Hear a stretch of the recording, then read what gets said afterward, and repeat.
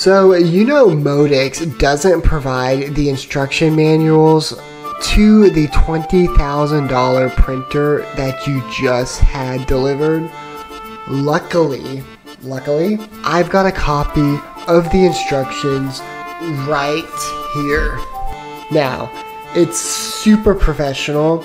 Definitely has no spelling errors or contradicting images with the wordings. It's a easy read. Anybody can read this thing.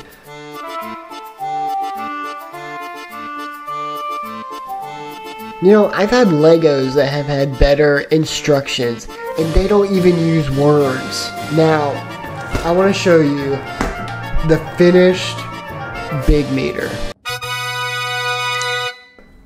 Wait a minute. That looks nothing like the Modix Big Meter. Am I missing something?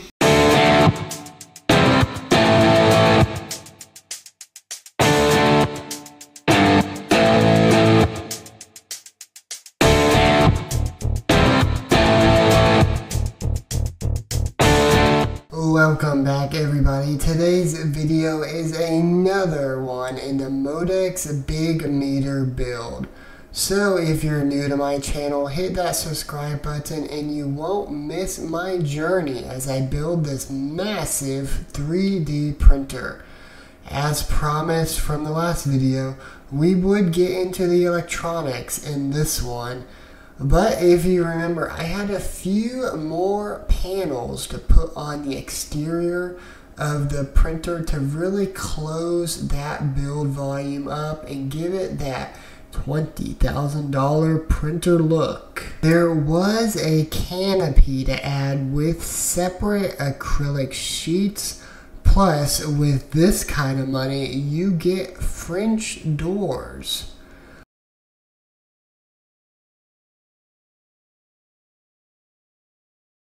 With all the doors and acrylic pieces on the printer, you get a finished look and a build volume completely enclosed.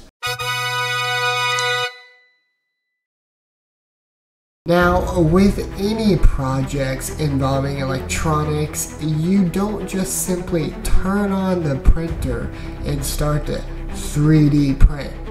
That would be too easy. The controller is a Duet 2 with an expansion board, and one of the main advantages for these boards is the on-board Wi-Fi modular. This is a major selling feature for these Duet boards, and they also do a really good job of having a lot of documentation online. The display is the Duet 3D PanelDue and for the big meter connects using a single wire over the 10 prong wire. So in short, you're not going to have an SD card reader on the panel, but you have the Wi-Fi modular on the board to make up for this.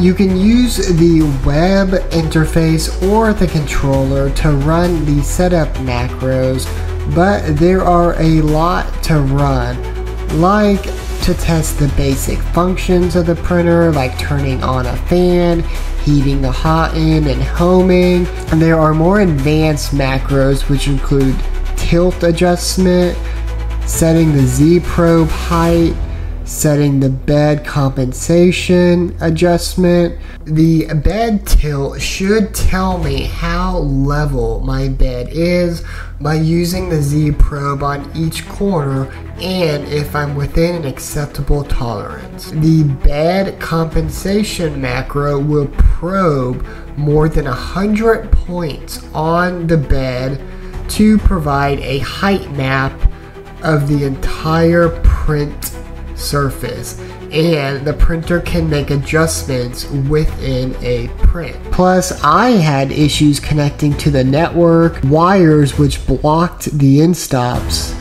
and there's a corner on the big meter where every wire on this thing meets and there's not enough space. You really have to tie down the wires with a ton of zip ties, so don't be afraid there. The way the end stops are mounted on the X and Y axis, you have very little clearance, and any wire not tied down, your axis is not homing. Both of the extruders E9 and E1 have separate homing end stops and stepper motors, which is nice because that makes the y-axis self-aligning. So after all this calibration, does the printer, you know, actually print well? Get your spectral sock out, nerds. It's gonna get good.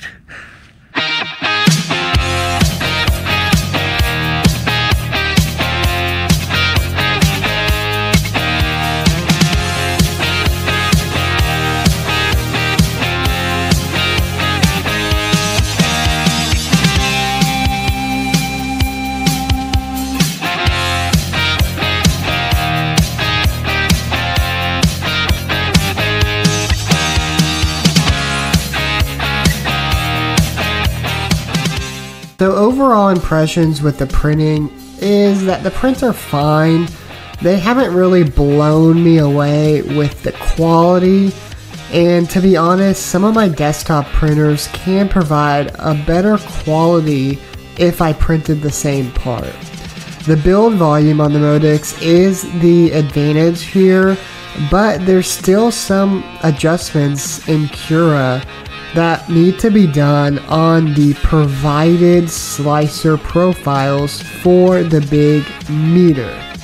They're definitely a work in progress and not final settings. I've noticed they have some weird settings used for retractions and supports that just aren't finished or final yet. So I'm currently waiting on Modix to provide the calibration tool so that we can use the second extruder so I can't run that one in this video. So maybe next time we'll get to see some dual extruder action. I know, you're gonna have to wait. That's gonna be very hard on the audience.